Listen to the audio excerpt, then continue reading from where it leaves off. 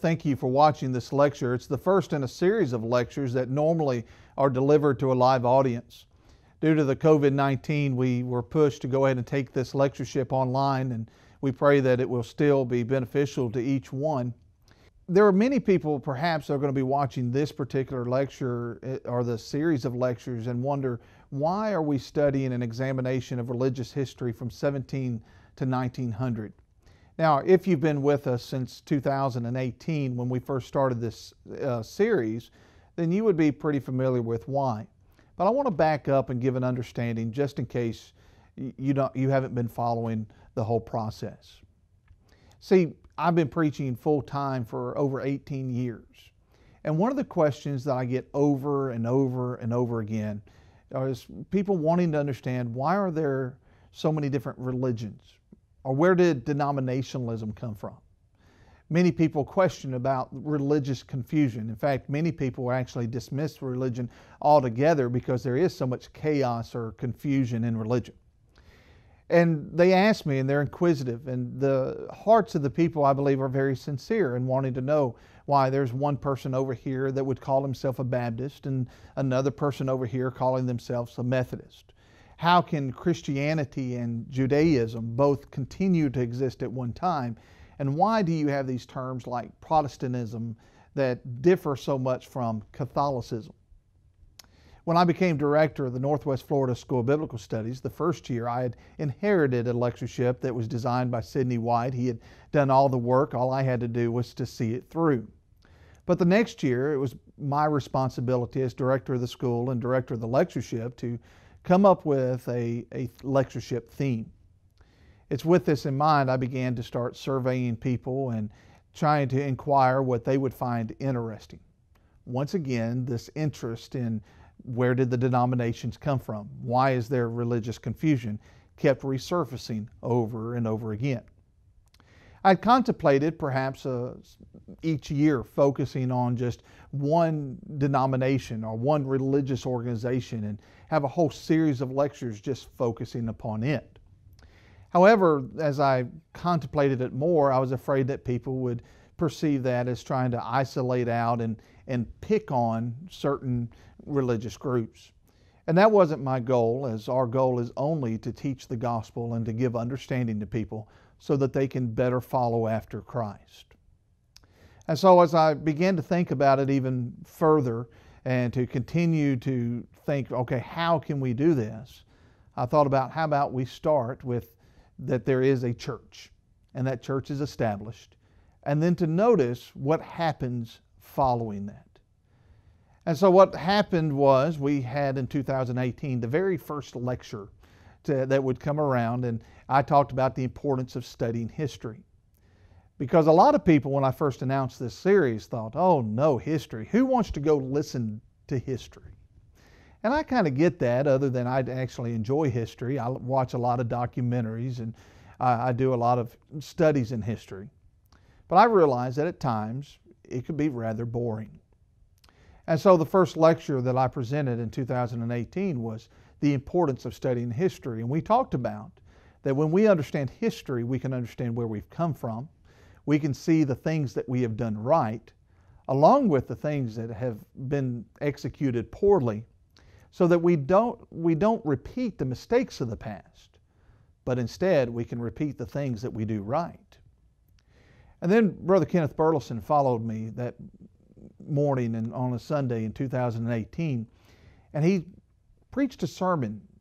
And the sermon or the lecture that he presented was that the church was established and is maintainable. And that is the premise. And we have to understand that if I'm going to introduce the concept of the restoration period or the restoration movement, then we have to understand that there is that which is understood as the church or known as the church. Now, if we go to Ephesians chapter 5, we would understand that the church is actually the body of Jesus Christ. We can back up and realize in Matthew chapter 16 that Jesus would explain to his apostles this concept of the church and the kingdom. Now, this was a constant struggle that he had with his disciples because they were busy looking for an earthly kingdom. They were looking for him to take the throne. That's what they were following after him, thinking would be established, even to the point that in Matthew chapter 23, 24, 25, he, you actually have him trying to straighten his disciples out once again that his kingdom's not of this world because they were busy looking all around at the, the temple and the, the buildings that existed in Jerusalem, thinking that when Jesus took the throne, these would now be his. But his emphasis was that it's a spiritual kingdom. But going back to Matthew 16 that I referred to a moment ago, it's here that Jesus would say, Blessed art thou, Simon Barjona, for flesh and blood hath not revealed this unto thee, but upon this rock. The rock that Jesus was referring to was the great confession that Peter made that Jesus is the Christ, the Son of the living God. It's upon this rock, Jesus says, I will build my church. Now, Dr. Bells, or James Bells, as many people have read his works and are familiar with him, would write a book and he refers to Acts chapter 2 as being the hub of the Bible. That perhaps could be debated because you can't have the establishment of the church in Acts chapter 2 without the coming of Jesus that we read of in the gospel accounts in Matthew, Mark, Luke, and John. Perhaps they ought to be considered the hub of the Bible. But the reason he made that statement was because if you look before Acts chapter 2, the church is always spoken of as something that is going to come, something that is in the future. Just like in Matthew 16, we notice, I will build my church. But there's an important phrase that we find in Acts chapter 2 and verse 47, because it's here that we see for the first time the church being spoken of as being in existence. It's here that it says, And the Lord added to the church daily such as should be saved. No longer is it something that is to be in the future, but is now spoken of in present tense. In fact, if you go to the book following Acts, you come to the epistle to the Romans that was written by the Apostle Paul. And he writes it to the church at Rome.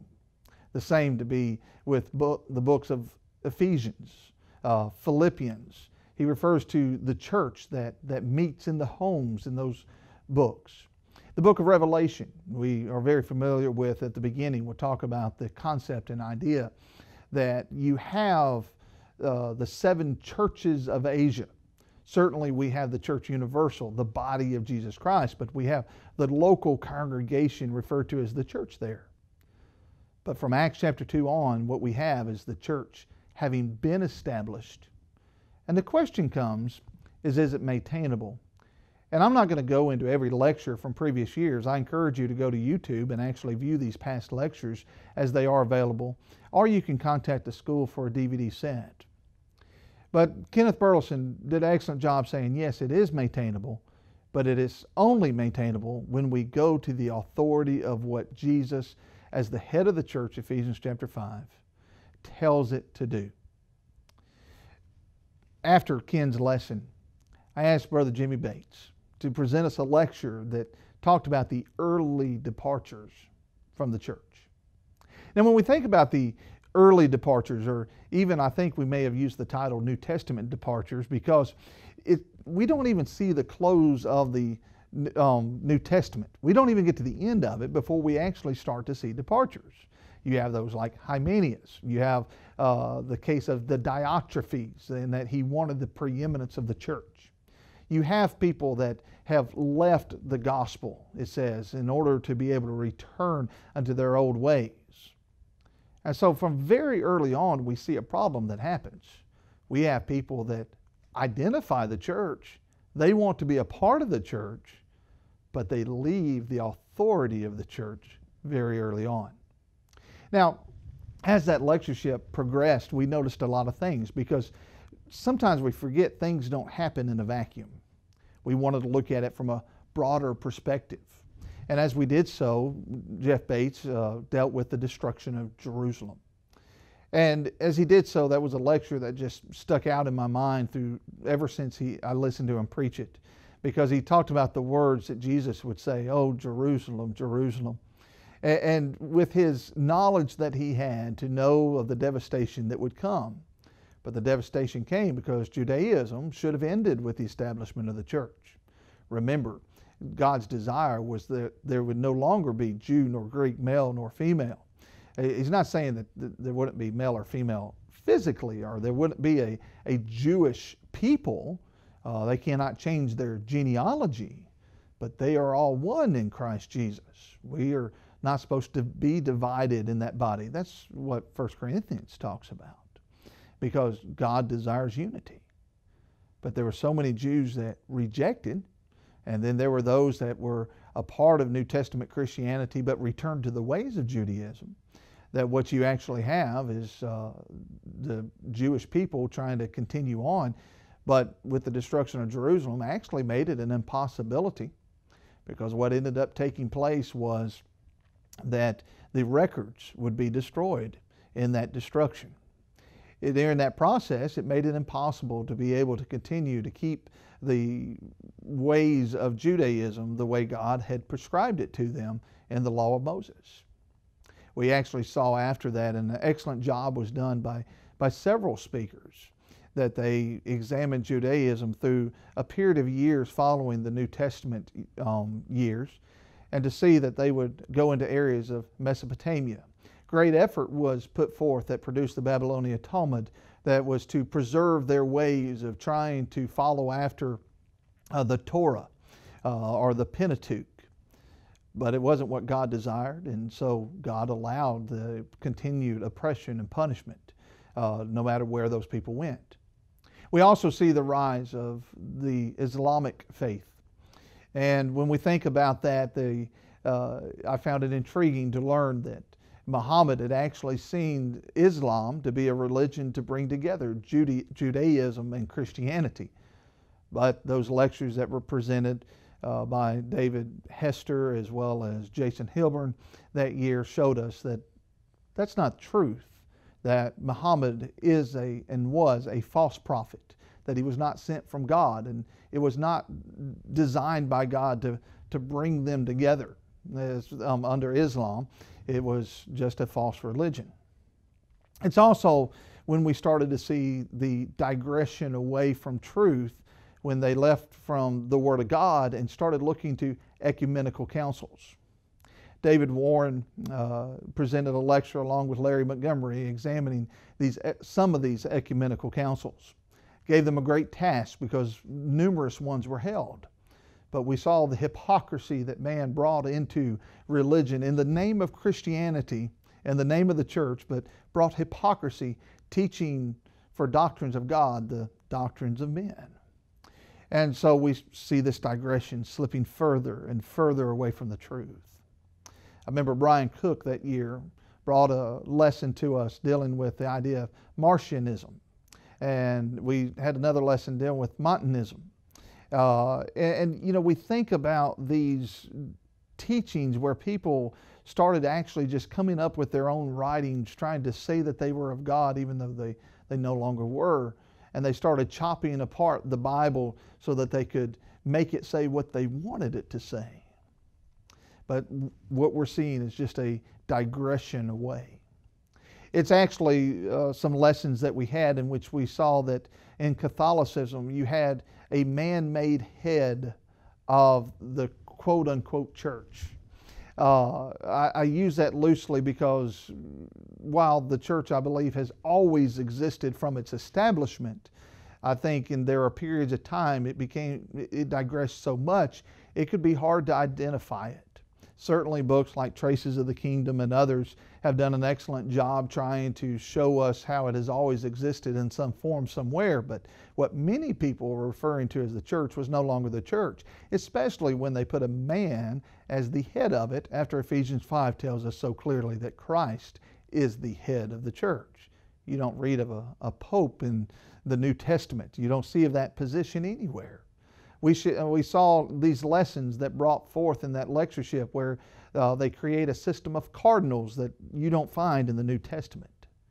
What ends up happening, and Robert Alexander, I believe it was, that examined Constantine's influence upon Christianity because you started seeing politics and Christianity being mixed. And, and, and let me say, when, when Christians look to the government to try and carry out the work of the church is never a good thing God has not, does not need government to carry out his will, he needs the church to. But Constantine's influence upon religion and uh, how that brought about the concept of buildings and, uh, and the located buildings for the meeting places of the church. It led to a relocation of the capital, which led to eventually the establishment of the Vatican City. Uh, it's during this time that you end up with a split that would take place. And we had a lesson that talked about the Great Schism. And that's whenever you have the Greek Orthodox and Catholicism parting ways. Now, with that being said, let me make sure I point this out is that I believe both of them to have already departed from New Testament Christianity. And there's other movements that were going on as well. And we had lessons about neo-Nestorianism because there were a lot of movements taking place that showed the digression from the church that Jesus said he would build. 2019, to fast forward a little bit, we picked up and we dealt with roughly 15 to 1700. And as we examined the um, religious history, we still had lessons dealing with Judaism and Islam and what was taking place in those religious groups or faiths at that time. But we started to notice what was more referred to as the Reformation movement. Now, the Reformation movement, to try and to summarize that or to, to put it in a nutshell, was where individuals realized that Catholicism has departed from what it was supposed to be. It was no longer the New Testament church. The difference was is that they they could see hope and they wanted to bring about change. And perhaps I could make great discussion as far with an individual as far as whether or not uh, the way they went about it was right versus wrong, but that would be for another lesson. But what they saw hope was was that they wanted to reform. They just wanted to change things around and steer it back into the right direction. And so we had lessons like about Martin Luther and what he did and certainly we had lessons about the 95 Thesis. The 95 Thesis was much like when he nailed it to the church door, uh, was much like when today we might would take a paper that we want to be posted and, and put it upon a bulletin board. His goal was not to lead people away from Catholicism. His goal was just to try and steer Catholicism back towards New Testament Christianity. Now, just a side note, I don't endorse all of his teachings, but, but his heart and seeing the departures, trying to recognize them, bring them to people's attention, and to bring about change is admirable. And we noticed that last year. It was during this time that we started seeing a lot of uprisings. Uh, there were those that had the problems with the Crusades that we had examined in 2018. Brother Ronnie Whittemore did a great job with that. And they were concerned about the physical aspect of what was taking place. And so what they started trying to do was to, to reform, to make change. It's out of this that eventually you would actually see Protestantism take place. And we started seeing and examining the influence of people like John Calvin. For clarity's sake, I don't endorse John Calvin nor his teachings. And I encourage you to go back to the 2019 lectureship that you can find on YouTube or the book that's on our website. And you see why we don't endorse those teachings, starting with the basic concept of tulip doctrine. Now, most of Protestantism follows the tulip doctrine in some form, maybe not all of it, but in some form they follow after it because that was produced. The Reformation movement led away from Catholicism, creating Protestantism. And so, what we really have is two groups at this point in time. You have those that practice Christianity through the Catholic Church, and then you have those through Protestantism. Now, again, clarification you still have Greek Orthodox, you still have Neo Nestorianism, and other faiths that are out there, but these are the dominant groups. The problem is they had doctrines that were unbiblical. They did not go far enough in their change, and they continue to teach false doctrines. One of the things that we can think about is the concept of inherited sin. And a great lecture was produced last year and delivered to us dealing with the concept of why inherited sin is wrong. So that brings us to the final lesson of last year. And that's a lot of history that I just covered, but again, you have lectures you can listen to. Charles Blair left our lectureship last year with why reforming or why the Reformation movement was not enough. And so we come to this year to try and to examine of what is the restoration movement. And the restoration movement, if you wanted to define it, perhaps could be a little challenging. I started looking up and I have different quotes that define what the restoration movement is. See, it depends on your perspective. Because while I am a member of the body of Jesus Christ, the Church of Christ at Milestone, we need to realize there are religious organizations out there that still try and stake some claim to the restoration movement. They view it differently. And so they would identify it separately than what you and I might would. But what we see the restoration movement being is a time period roughly between 17 to 1900. I know that's a broad range there, but I'm not going to split hairs over, over dates. But roughly between 17 to 1900, in which we see people that had followed the Protestant system, not the Catholic Church, but the Protestant system that brought about division in and of itself. Because suddenly you start having those people that were calling themselves everything from uh, a Lutheran, which even though Martin Luther uh, desired that no man should call them, themselves after him, you had those that would call themselves Calvinist, Baptist, Methodist, all sorts of denominational names. And you had people that, as they saw this, understood that passages like 1 Corinthians, that I would have no divisions among you, that you be of the same mind and be of the same judgment. And so what their desire was, was to seek that unity. They wanted to put aside these titles. Now, the reason we call it a movement, because it wasn't by one person, it wasn't at one time that we could say, right here is when it happened. It was a culmination of a lot of different men and individuals. It was a culmination of many years of development that would lead about to restoring the New Testament church out of the desire to seek to be that one church that Jesus promised he would build in Matthew chapter 16 and that we see established in Acts chapter 2. It was their desire to seek authority that they started to say things like, Give me book, chapter, and verse. Let's call Bible things by Bible names. They encouraged individuals to study and to, to seek the authority, to speak where the Bible speaks, and to be silent where the Bible is silent. Now, there's a lot of contributing factors to this. Certainly, you could go to the reforms that were taking place politically in places like Scotland that would lead to much migration to the United States. Certainly, the United States played a role in this.